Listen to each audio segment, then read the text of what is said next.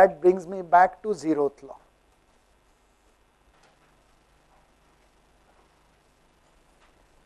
We are going to straighten out our understanding of zeroth law and we will define as we progress what is meant by thermal equilibrium, what is meant by an isothermal state and hence we will finally define what is meant by temperature. Now when you talk of, uh, when you look at almost any textbook and unfortunately although the um, Carathéodory's form of first law which I explained has become a part of good books in thermodynamics. Sears and Salinger and Moran and Shapiro are examples of this. Uh, even Zemansky's physics textbook is an example of this. For some reason, the zeroth law as we are going to formulate, formulation was I think originally proposed by Landsberg, the physicist, uh, adopted by many others, has not found uh, place in good textbooks of thermodynamics. And everybody assumes that something called thermal equilibrium is uh, known and then provide the statement that if system A happens to be in thermal equilibrium with system B, system B happens to be in thermal equilibrium in system C, then A and C are in thermal equilibrium or will be in thermal equilibrium with each other. Weaknesses here, apart from defining what thermal equilibrium is, is that you are talking of systems. Shouldn't we talk about state? A can be in any, any state it feels like, B can be in any state it feels like, C can be in any state it feels like. So rather than systems, we should be talking of systems in a given state. And second thing is, when have A and B brought together, you say, let they be in thermal equilibrium. Why should they be in thermal equilibrium? So the fact that a situation exists where they are in thermal equilibrium is not stated, it is just assumed. So what we will do is we will take the formulation of zeroth law properly and we will say the zeroth law is our understanding of the behavior of systems by means of systems I mean plural, two systems minimal separated by a non-adiabatic boundary. So, if first law was our understanding of the behavior of a system bounded by an adiabatic boundary, so as it is restricted only to work interaction, our zeroth law will tell us what happens when two systems are allowed to interact across a non-adiabatic boundary. Okay? So definition 1. Since the word non-adiabatic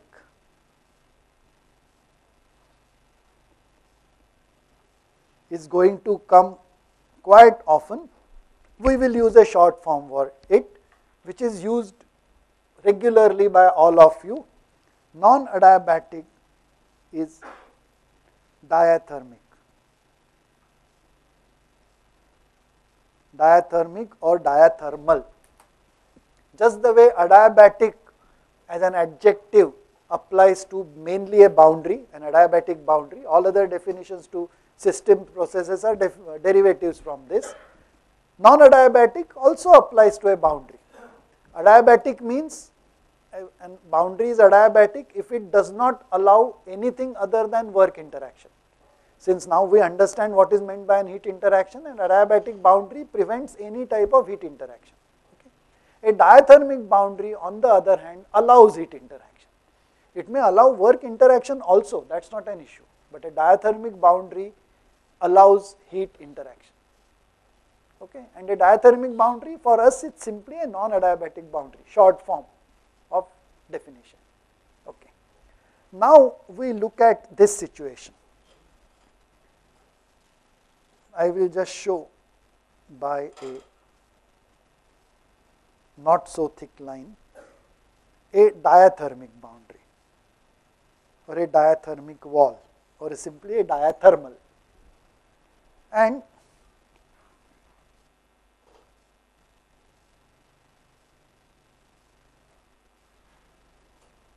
I will allow two systems, a system A and a system B to interact with each other across that diathermic boundary. Diathermic means heat conducting, heat transfer allowing, non-adiabatic. The basic definition of diathermal means non-adiabatic, remember that. Now, remember a diathermic does not mean that work interaction is prevented, but we also know that for work interaction to take place between A and B, suppose they are fluid systems, the wall separating the two must be allowed to move, piston must be allowed to move. If there is a stirrer, that stirrer must be allowed to rotate. If there is an electrical connection, there must be a potential difference and current must be allowed to flow. So we have to take some conscious, make some conscious effort to allow work interaction. And because of that, it is always possible to prevent a work interaction. For example, if A tries to expand into B by moving this wall, I can fix the wall, anchor it at a place, preventive expansion type of work interaction. If there is a stirrer connecting the two, I can lock the stirrer up, just the way we lock the, uh, you know, the brakes or the wheel of a steering of a car, preventing the tau d theta type of interaction. If there is an electrical connection, I will make it open circuit because unless the circuit is closed, there will be no electric current, whatever be the potential, there will be no electric work interaction. Okay. So by this, I will consider a restricted place, a diathermic wall, and we will say, just for illustration, that interactions between A and B are Q only across this wall, either this way or this way, does not matter. Just for the sake of argument and simplicity, we say that if there is work interaction which comes into the play, we restrict it. We will say let the piston be fixed. Okay. Now, this is the basic situation which we are going to look at and it is a bit more complicated because for first law we just had one system, it could do only work.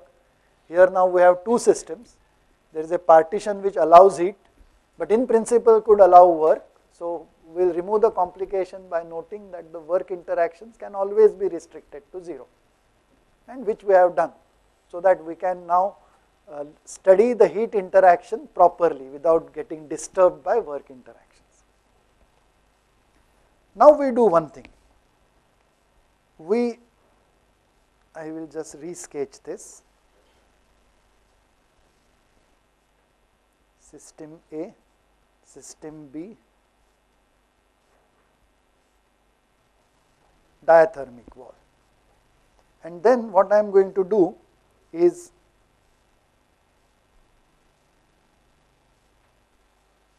I am going to look at the state space of A, say x A, y A, and state space of B, saying x B, y B. if you are comfortable, write pressure, volume, pressure, volume, or sigma A, whatever. And two dimensions I am showing for simplicity and clarity. It's a complex system, it could be more than two dimensions, it does not matter. What I am going to do is do this experiment. By some interaction or by prior manipulation, I am going to put A, bring A to some state A1. Let us say let the initial state of A be A1. Okay. I am going to experiment with various states of B and every time I am going to see as I bring it in contact with A which is at this fixed state A1, is there a heat interaction? Okay. All work interactions have been prevented or restricted. So if there is a heat interaction, the state A1 will change because its energy is changing. Similarly, if B is in some initial state B naught, if there is an interaction, even its state will be changing. So, it can be detected easily whether a heat interaction is taking place or not. I am trying to hunt out situations where in spite of being allowed to have heat interaction across the diathermic wall, heat interaction does not take place. The first part of zeroth law tells us that in the state space of this system B, there exist states which will be such that when allowed to have across a diathermic wall heat interaction with a fixed state of A, say A1, they say I do not want to transfer any heat from A or to A. This is the existence part of zeroth law, which is not mentioned in very clearly mentioned in any of the books. So, first part of zeroth law is existence. So, what I will do is I will erase all this and say that because of existence there will be some states let me call them B1, B2, B3, B4.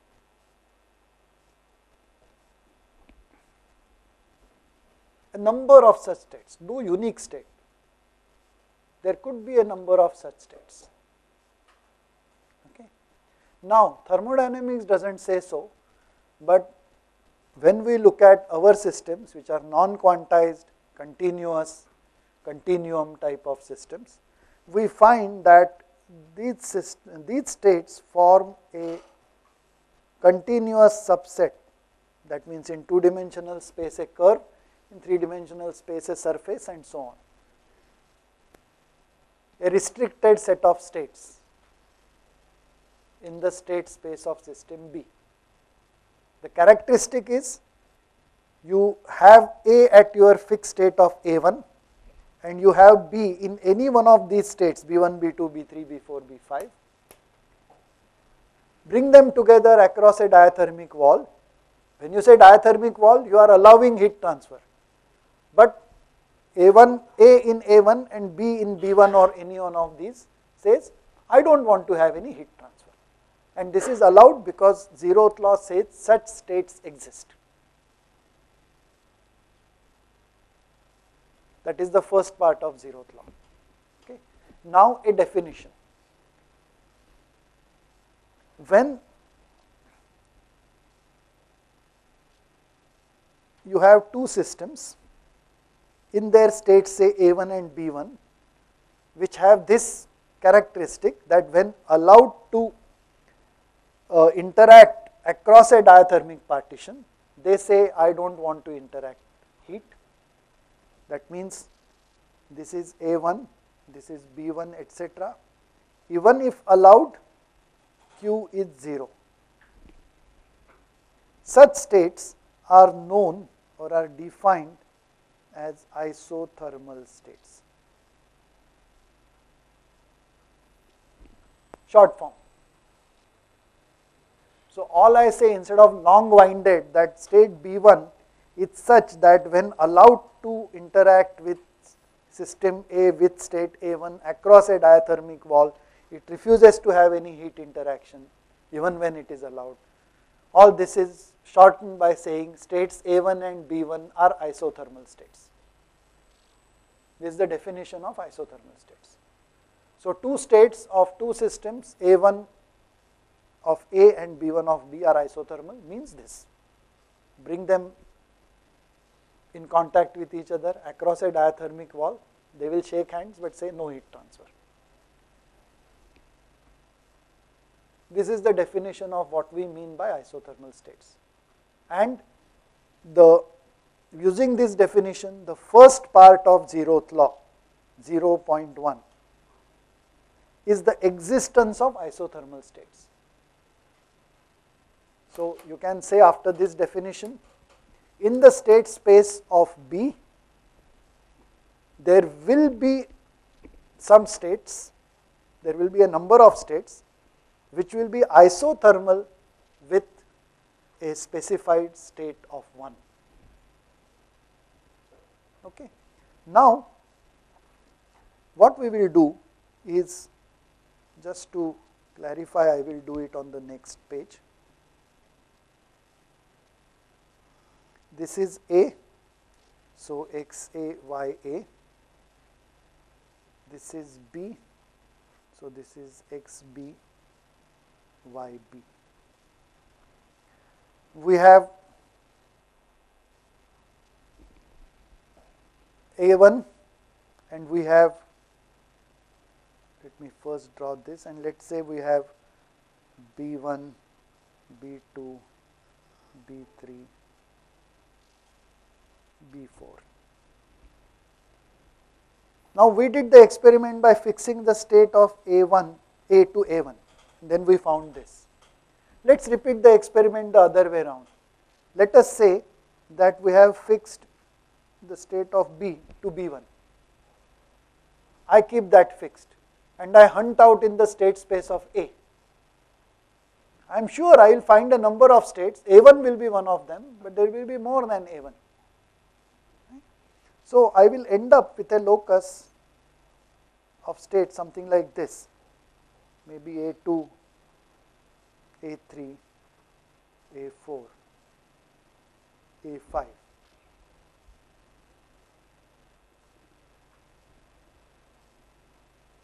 So, this is states isothermal with A1.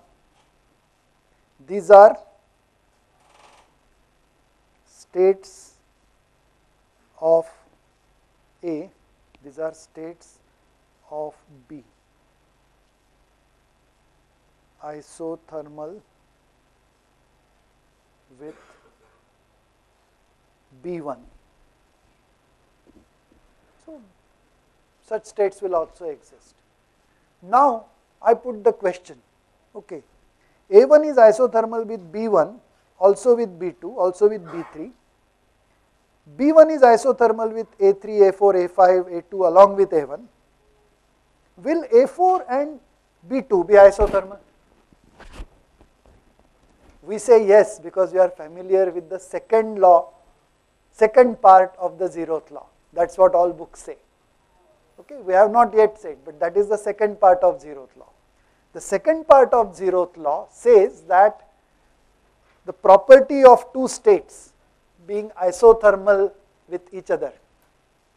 Okay, it is a reciprocal relation. If A is isothermal, A1 is isothermal with B1, B1 is also isothermal with B1. But the second part says that this property of isothermality of a pair of states is a transitive property, which is what we know traditionally as the zeroth law of thermodynamics. So, the second part 0.2 is the transitive property.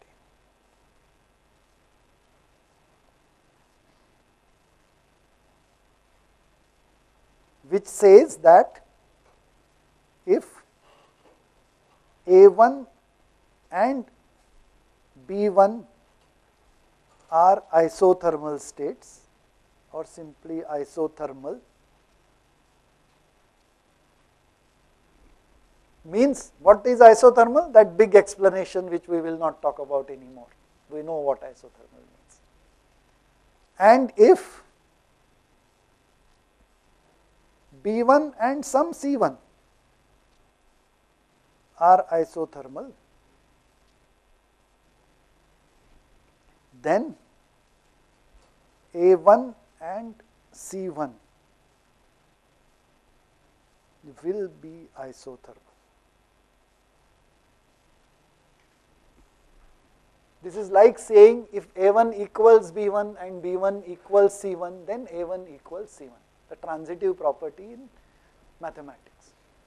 This is the transitive property or equality in thermodynamics. Okay. Because of this, I will sketch it here.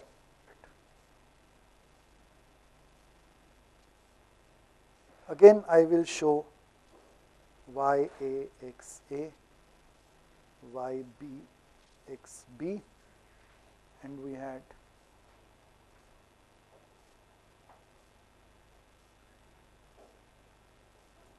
we had a B1 here and we had an A1 here, we had A2, A3, A4 and we had B2, B3, B4, B5.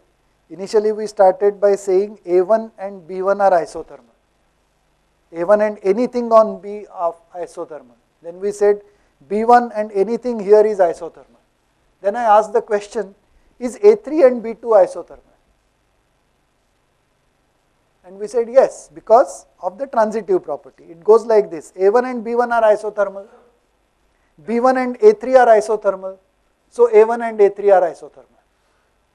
That means if I have A on one side and a copy of A on the other side, one side at state A1, another of the copy of A on the other side at state A2, they will also be isothermal. And since A1 and B2 are isothermal, B1, B1 and B2 are isothermal and hence any one of this and any one of this are isothermal. So these two sets of states are isothermal with each other, although they are in two different state spaces. So these states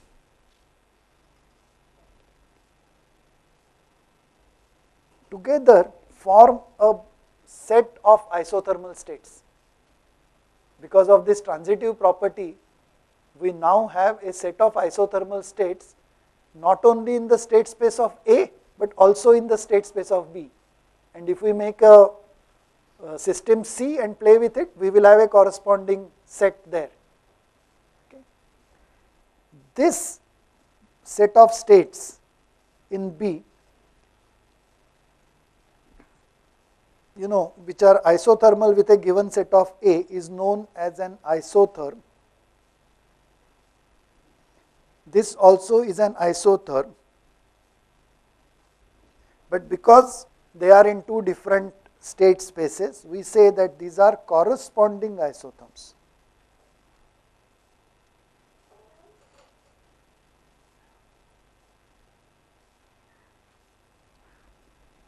So you take any state, any pair of states from corresponding isotherms, maybe belonging to same state, same system or different systems. They will be isothermal with each other. That means bring a diathermic wall, allow them to interact, they will say, well, we don't want to have any heat interaction. Okay? Now, where do we bring in temperature? For that, we will extend this.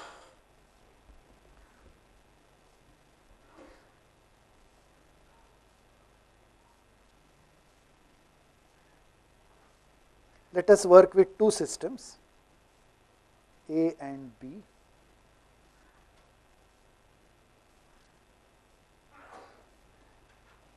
And let me say that we have already done this experiment and we have this set of black states here and black states here which are corresponding isotherms.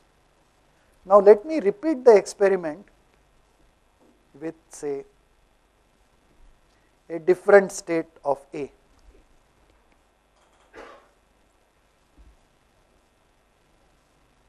It is possible that if that state is not on this isotherm, I will get a different set of isothermal states in B. And if I fix one state out there, I will get a different set of isothermal states in A.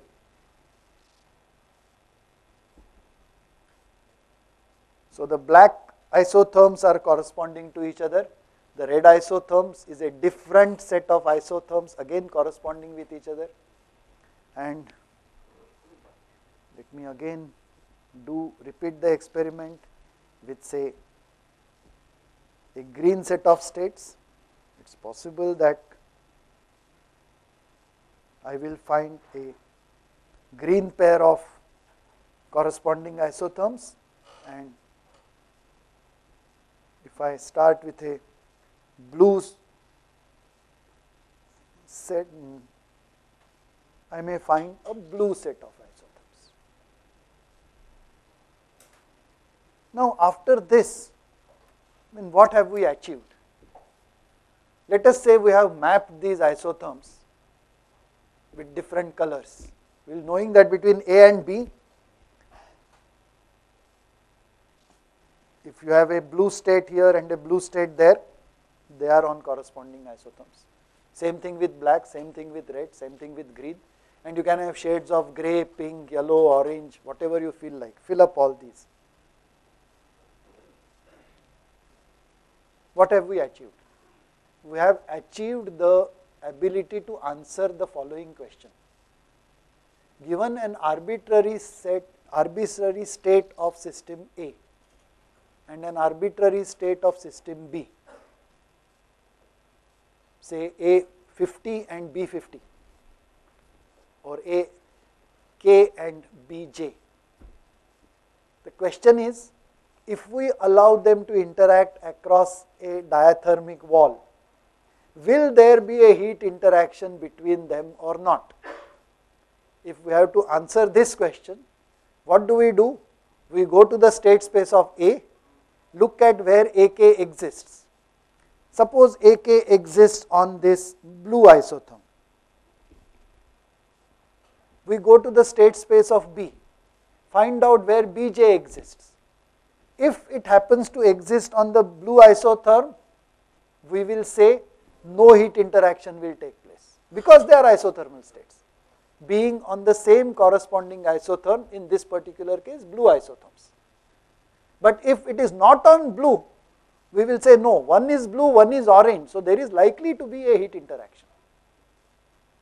Because you have a diathermic wall, heat interaction will take place. at what rate we do not know in thermodynamics. But we will say zeroth law says because they are not on corresponding isotherms, zeroth law does not dictate Q equals 0. Q can be non-zero. How to know whether the heat interaction is there or not? Okay. Uh, the moment there is a heat interaction, first law comes into operation, Q equals delta E plus W we have say already prevented W. So, the moment there is a Q, there is a delta E. The moment there, there is a delta E, the state will change. So, that tells us whether there is a heat interaction or not. If uh, only internal energy change, hmm. the internal energy we can change only by measuring the temperature. So, change. But without the knowledge of temperature, I will take a concrete example because this is a typical mental set we have come into picture. Let us take two simple fluids, okay. one containing say oxygen, one containing say nitrogen. Let us say, okay. so of this, let us say this is state system 1, this is system 2. V1 and P1 are the two variables out of which V1 is fixed. Here V2 and P2 are the two variables out of which V2 is fixed. Now my question is, if I allow this system to have, because V1 is fixed, I allow this, my only variable is P1, I will say that look, at this value of fixed V1, P1 is 2.4 bar. And at this value of V1, I will put numbers here, say 1.2 meter cube and here I will say 1.9 meter cube. These are fixed values and if you want m1 kg could be say 0.9 kg, m2 kg could be say 1.2 kg. In fact, m1 should be this, m2 should be this. Okay. And then I say P2 is 3.3 bar. I bring them together. If there is no interaction, Anyway, volume cannot change, energy will change and since only pressure can now vary, pressure will vary. And I will note that pressure is changing. But if I find that this 0.9 kg of oxygen at 1.2 meter cube and 2.4 bar, where 1.2 meter cube is fixed, and 1.2 kg of nitrogen at a fixed volume of 1.9 meter cube and P2 of 3.3 bar. If I allow them across a diathermic wall and I find that after 1 minute, 10 minutes, however long I wait, no interaction. So this remains 2.4 bar, that remains 3.3 bar. I will say no interaction because no, no state change. State can change only with interaction. I have prevented work being done, so that is no interaction. So only interaction will be indicated by a change in pressure, which is not getting indicated. So then I will conclude that these are isothermal states. But if I find that soon after allowing that interaction, maybe the pressure of one is changing, pressure of the other is also changing, then I say, ah, something is happening. And since I have prevented work from being exchanged, some heat interaction must be taking place. That is the way we hunt out isothermal states. But in case of waste to the solid, Why solid? if the boundaries in, in, in case of here we have taken the example of uh, oxygen means gases where the pressure and where may change. If we take both uh, to be like metals or blocks, Hmm. so in that case uh, the question is how to identify If you are, let's not look at system. Are you going to say that you are looking at a system which is a simple system, rudimentary system or complex system? If you are saying that the solid is a rudimentary system, okay, even then there will be rudimentary system means no two-way mode of work. Okay? Hmm. But whatever are the other single way mode of work I can prevent. But there will be one state variable, maybe the length of the solid, maybe the twist in the solid. That one variable of state will be there. Yeah. That will change if there is a heat interaction.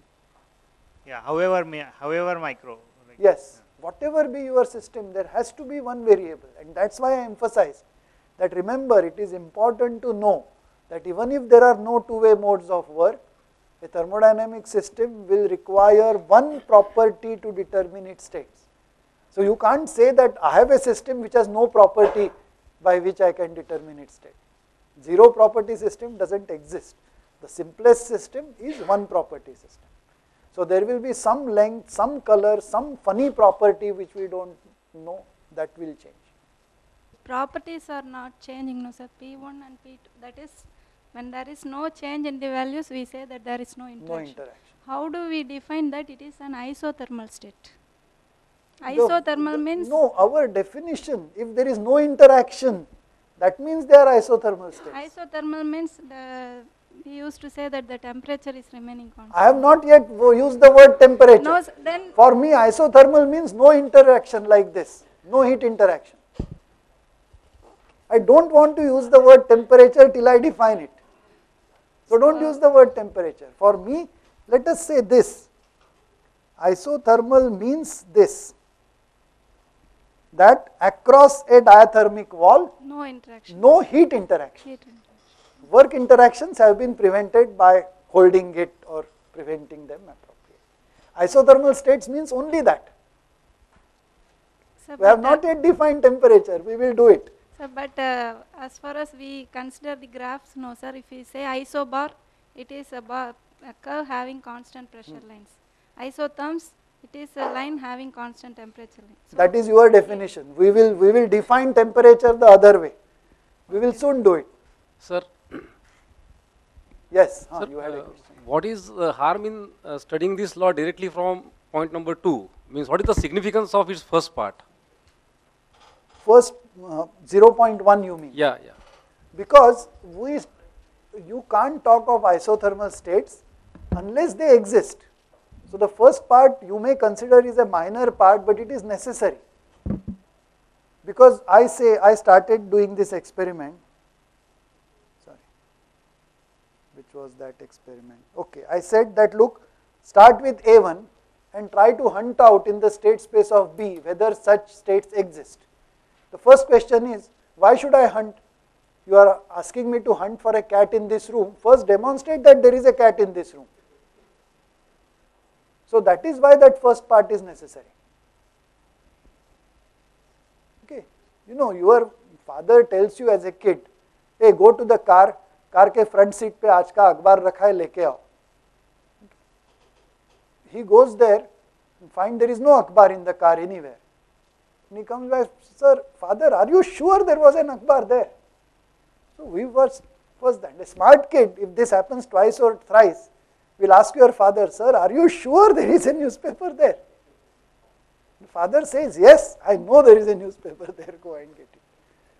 So when we hunt for an isothermal state, 0.1 talks about existence of an isothermal state.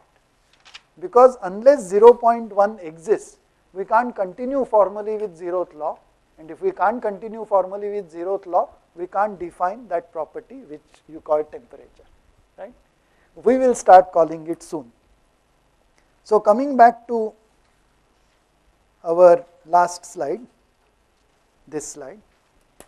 The advantage of this was the ability to determine whether system A given in a state A1 and system B given in a state B something, when allowed to interact across a diathermic wall, will there be a heat interaction or not?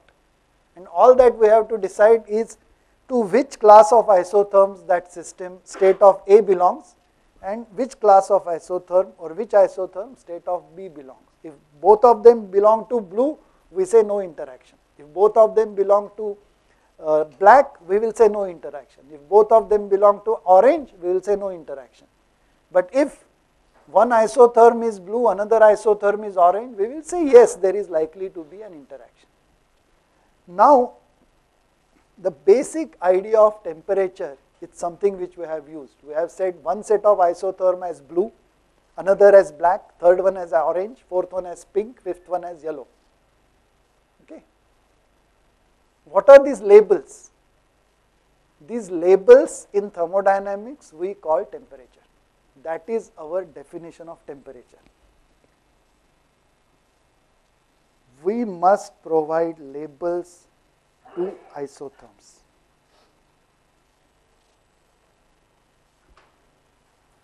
And these labels are known as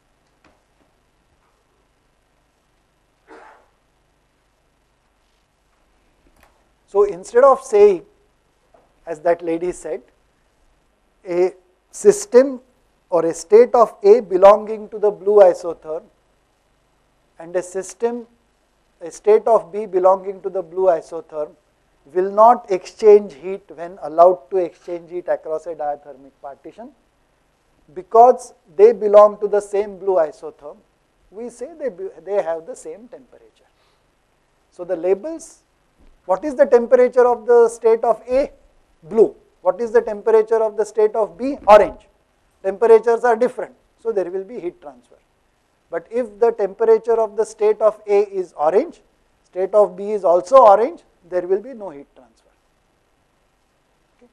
Now, basically zeroth law ends here by saying number one isothermal states exist there are corresponding isotherms in any pair of systems you take and the property of being isothermal is transitive which is very useful for us so we don't have to worry about point to point we can talk of a set of isothermal states and a corresponding set of isothermal states and it is a good idea to label isotherms so all that we have to do is look at the state of A, find out the label of the isothermal surface or locus it exists on. Find out the label of the state of B. If both the labels are the same, we say no heat interaction. If the labels are different, we will say yes, there will be heat interaction. These labels we say temperature. So now we can say that if temperature of the system A is equal to the temperature of system B, there will be no heat interaction. If they are different, there will be a heat interaction. Now, the basic idea, I will leave you in a confused state and the confusion will be cleared only after the second law of thermodynamics. The basic zeroth law scheme ends here by labeling isotherms. Okay? How to label them?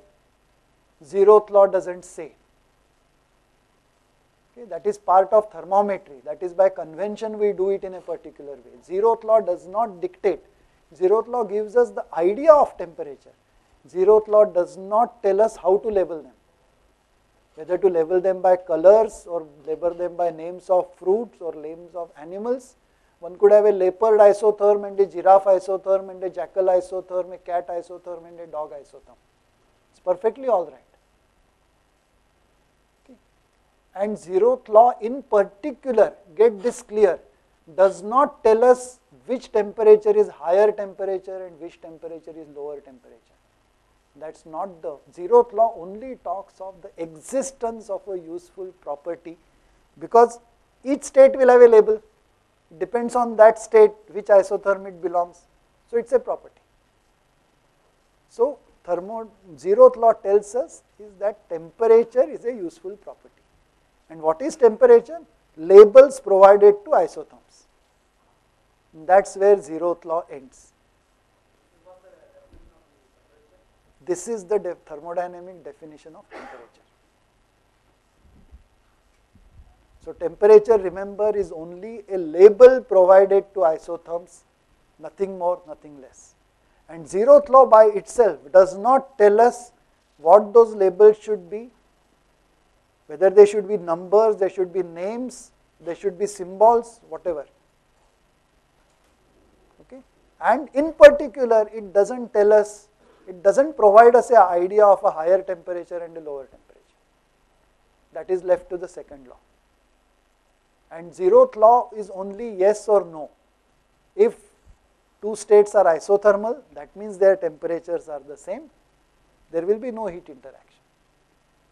But if the temperatures are not the same, that means they are not on corresponding isotherms, there will be a heat interaction. Which way it will be? Zeroth law does not say. How to label temperatures? They say corresponding isotherm should have the same labels. That is the only restriction. Without that, or more than that, zeroth law does not tell us anything. Okay? You would have noticed that we have not used the phrase thermal equilibrium, right? We used isothermal states and all that.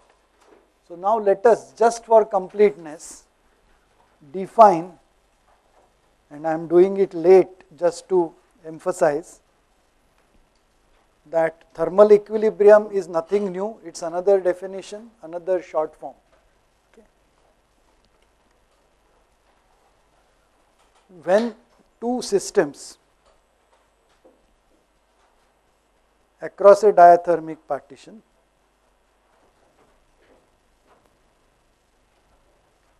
are allowed to interact and if A1 and B1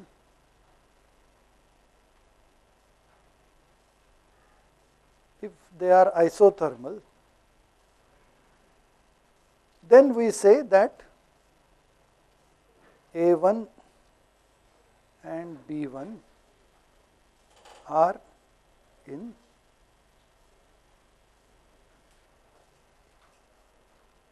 same thing. Both of them mean the same thing.